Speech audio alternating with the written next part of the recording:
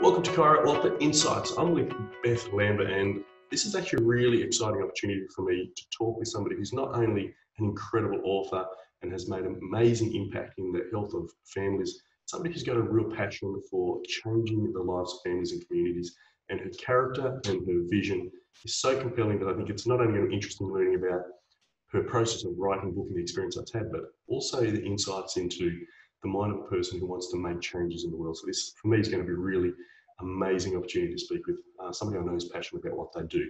But firstly, Beth is the author of what I think is an essential family book, A Compromised Generation, and co-author of Brain Under Attack, which is a resource uh, for parents and caregivers with children with PANS, PANDAS, and autoimmune encephalitis.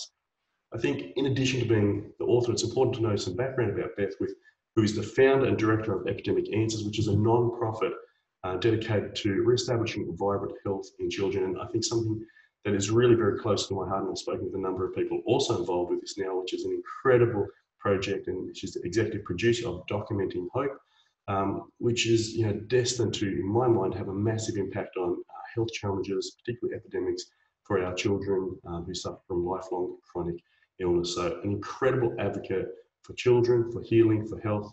Beth, it's an absolute pleasure to have you here. So happy to be with you.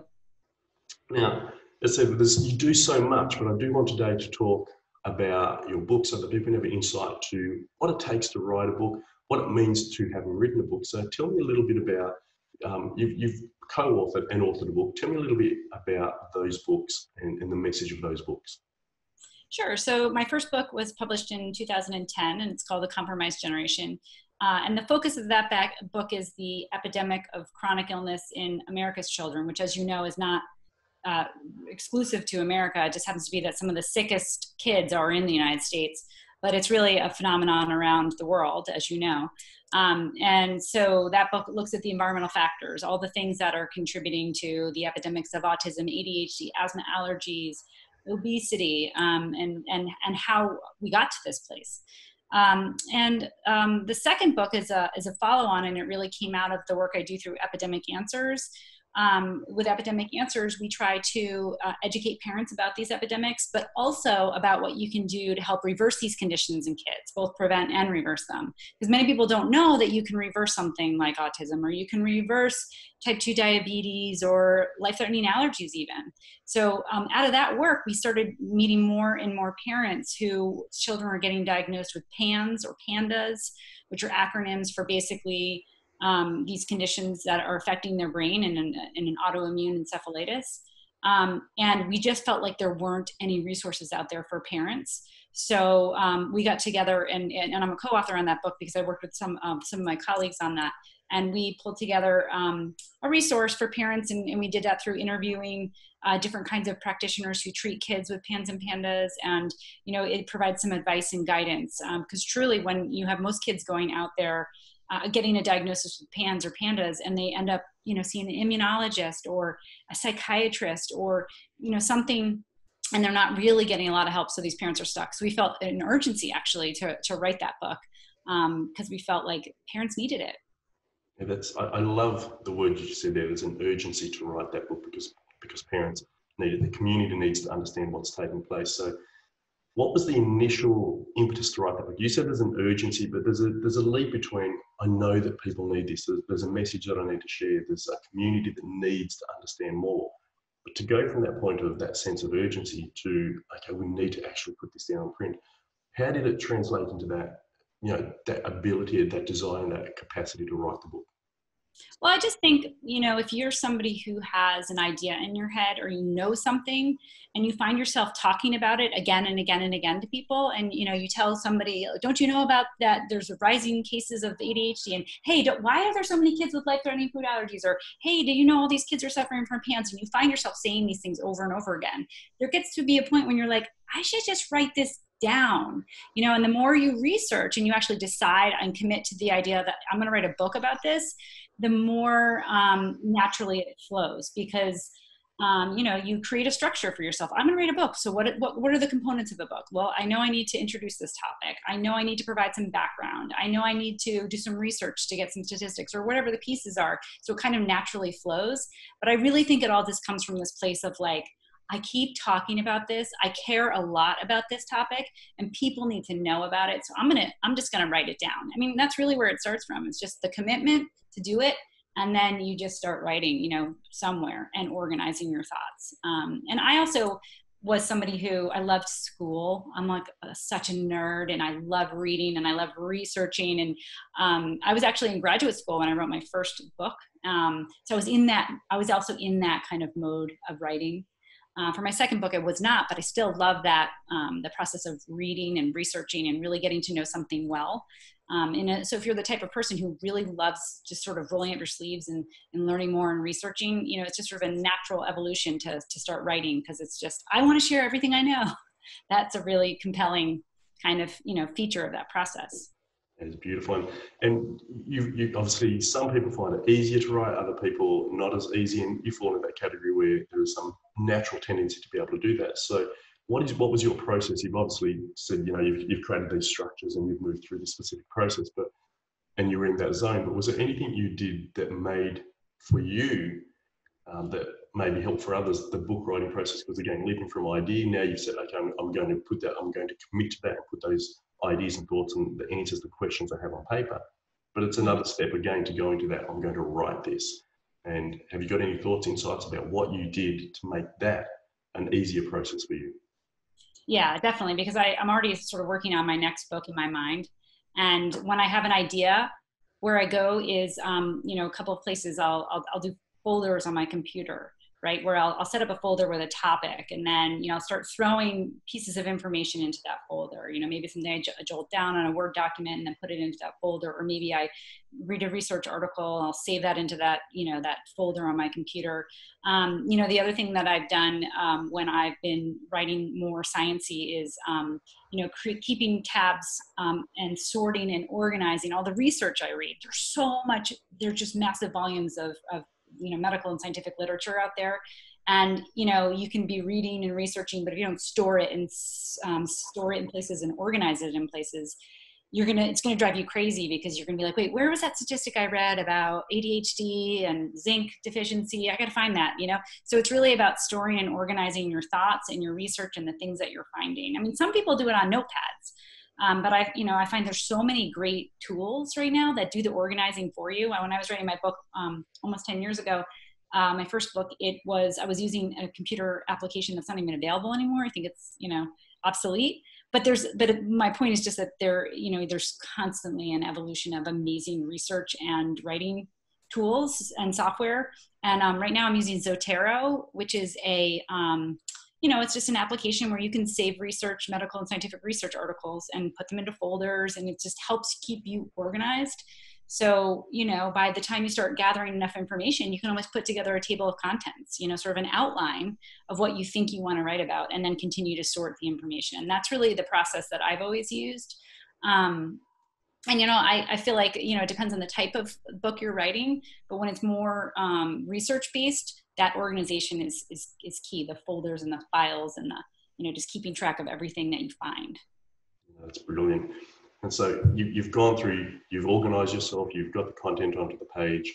I'm going to jump to a point because of, uh, of having been published because i want to talk also about the impact that it's had in, in your community and, and also for your business and what it's meant for you personally. So the book you write the book you publish the book you it becomes your message it becomes your way to share you know, hope uh, in the world. So how was it received when you when people started to be aware of the significance of these epidemics um, and the impact it's having on people's lives? How was that book received? Well i think i definitely got some um, parents who contacted me saying i had no idea um, that it was this bad. But the thing that I found was gratifying after the book was published was that there were people who contacted me and said, not just I didn't, I had no idea it was so bad in terms of the number of impacted kids, but I had no idea there was solutions. And um, that was extremely gratifying for me because it said to me that, you know, sometimes you know, I've been in this work for, you know, over a decade and um, the, the most important piece I think for for families who are you know going on that journey of healing their kids is mindset right so if you walk into a physician's office and the physician says i'm sorry um, your child has this diagnosis. We don't know why he has it. He's always going to be this way. You hear things like that, and it just sort of shut, shuts you down. It doesn't give you any possibilities or any options. And then you just look to manage it, right? And deal with your own stress dealing with it. That's no way to live. Like, that's not, that's not even true.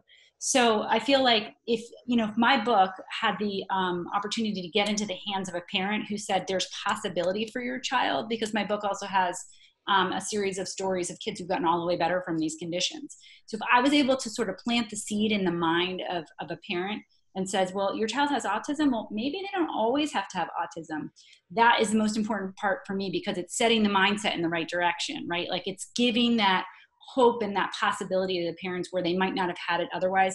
So when I first published my book, I definitely got a few stories of people like, I didn't know this existed. Can you suggest some doctors that I can work with? Or can you suggest some other resources where I can get on this journey? And, and that's also why I started Epidemic Answers was because I felt like, you know, you can write a book, but you know you've got to take that message even further and, and get the, the resources out to people so the book almost becomes like a calling card and here's what i have to say but then it's important i think to build off of that too um, and, and and provide more because people always want more you know if they like what you've written and like, like they like what you've said i feel like they always want more beautiful and, and there is always room for more space in all of the environments because they are looking for continuing answers they they like to go deeper on the journey you, you think about a, a, yeah, a movie that becomes a series or a, or a a Netflix um, series as well. You don't just watch the first. There's, there's a story that unfolds. There's a depth from the continuing watching that takes place. And the same is true for reading. You read in the same genre, multiple authors, but deeper from the same author as well. So you have that opportunity to connect with them once you share that message and, and take them to a deeper level of understanding and therefore greater capacity for hope because the more they go deeper into the experience with you, the greater capacity they have for the change that's necessary to bring about the results that will transform their lives. So I think um, you, you shared that so beautifully and elegantly as well. You, you spoke about the, the people reaching out to you and you know saying I didn't know that this hope even existed. So, and you said that was very gratifying. Tell me one of those stories and, and how that touched you. Um, that you know you, you, write this book and people reach out, but the, but how did it, how does it lead to transformation in the person's life? It's it's one thing is having an understanding that we can have, now have hope. It also means that it impacts lives. So I'd love to hear a story like that. Yeah, my favorite is um, I gave a, a book talk uh, one time at a library in Connecticut and so I'm sitting in this library auditorium telling the parents about my book and sort of talking about the new childhood epidemics. And I was sharing some re- recovery stories and giving some tips and ideas on how parents have done this and how they can do this for themselves. I didn't know at the time. There was a woman sitting in the audience. She came up and you know said a few things to me, and I, I signed a book, and I didn't didn't really think anything of it. We ended up getting connected later, and it turns out that that that day when when she was sitting in the audience, you know, she was dealing, she was in what I would call the pit of despair with her child. Her son had, um, you know, he was labeled with ADHD, but he was having, you know, severe uh, behavioral issues, learning problems. He was depressed. He was anxious. He had um, life threatening food allergies. Like, just, he was just a mess. I mean, I think she would use those terms. Um, and she was beside herself. And she sat in the audience. This is all coming from her later. She was telling me that she was sitting in the audience and and and was like light bulbs going off like oh my gosh i didn't know this was possible. I, like could this happen for my kid? So it turns out she ended up um, going to see some of the very same doctors that i um, had mentioned in my book. And she ended up getting on this road to recovery for her son and she fully reversed his diagnosis got him off all his prescription medications. He had asthma. He was on you know different kinds of steroid medications. He was on um, you know, all these kinds of medical things that weren't helping him. She got him off all of those, got him to lose his diagnoses, his symptoms. And then she ended up writing a book um, with her son um, and about that recovery journey. So she has a book out there now that she wrote with her son. It's a it's like a cartoon uh, book and written for kids. And he basically was the story is about how he's once was really miserable and, and sad and sick and he felt terrible and then he changed his diet and he took some of the toxins out of his environment he saw you know like this kind of doctor that helped them and then he got better and he's he's straight a student and he's doing great it's an inspiring book that she wrote but like that is my favorite um you know, I, I, just my favorite story of um, the light bulb that goes off for the parent. The possibility is there, and then they take it and run with it. You know that she's she's a she's an amazing committed mom, and she's a dear friend of mine now. Um, and I just feel so um, grateful that we had the opportunity to connect that one day because it meant something, I think, for for her family. So uh, that's my favorite story. I wish there were more like that. well, no doubt be more coming, and you've got another book coming, as you said. So the opportunity to outreach to serve impact continues, and uh, that's a beautiful story, and it really does highlight just you know, even if you change one life, it's enough. But this happens you know, more often than we probably give credit to, and you don't even know all the impact that you've had because not everybody always tells you their stories. So that's the beautiful thing about writing a book is the change that happens. And obviously it changes people's lives. You have these, you know, beautiful stories and the impact that it has. How has it changed your life in terms of either your business or personally what you're where you've redirected your efforts or energies or the opportunities that have come?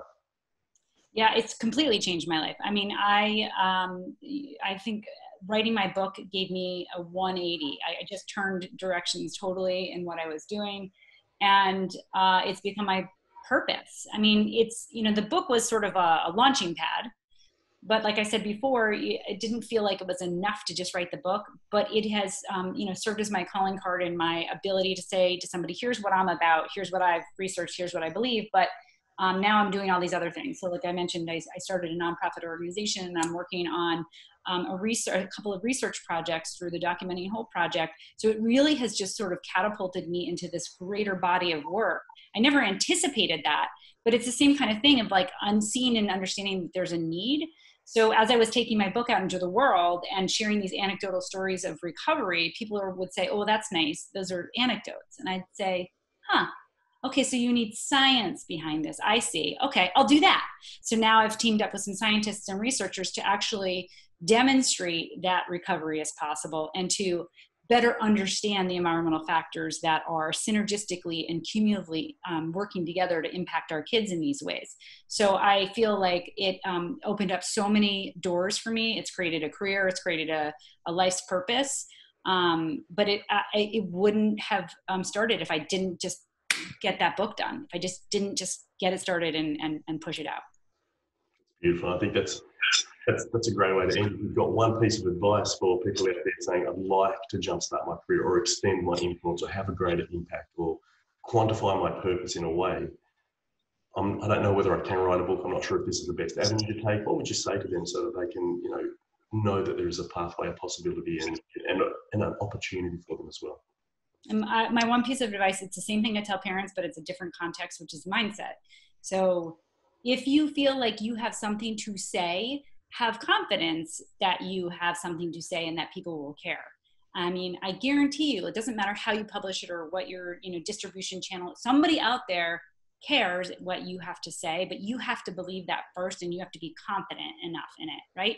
And the other thing is like let your ego go you know like i had i wrote my book and it was like vitriolic angry against the conventional medical establishment because there's all these kinds of things you know pharmaceuticals that are harming kids and interventions that are harming kids. And i remember coming from that place of anger and i spewed that out into my first iteration of my book. And then i had a physician um, who was my medical um, advisor or edit, medical editor. And she read my book and she was basically checking to make sure that I had, um, you know, all my facts correct, my medical facts correct. Um, and she was like, "Why are you so angry?" I was like, "Angry? I didn't even notice I had anger in there, right?"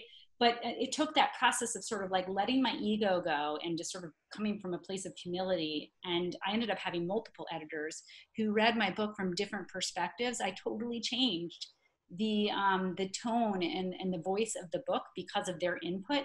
But i think it, you have to kind of let your ego go and you kind of have to let um, come from that place of humility that like what i have to say is important but i'm going to take advice from other people who um, might help me shape this into something that's really impactful. That's beautiful. Thank you. Beth you have uh, made such a profound impact in the world uh, I love what you're doing with the Documenting Hope project. Epidemic Answers provides incredible solutions for people to give them an opportunity, and your books are, are essential reading for families um, to understand how to end the, this battle against chronic illness. And you are offering real and powerful solutions, lasting solutions, and you are an incredible servant of humanity. Thank you for your time. I appreciate your message, and I appreciate you. Oh, thank you.